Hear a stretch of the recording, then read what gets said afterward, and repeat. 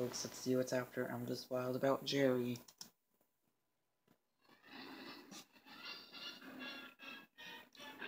We get CinemaScope.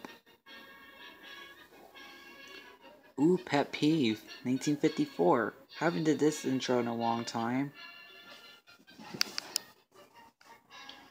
And this is actually my, my third favorite 1954 short. My second favorite would be Downhearted Duckling. So, yeah. See y'all after Pet Peeve.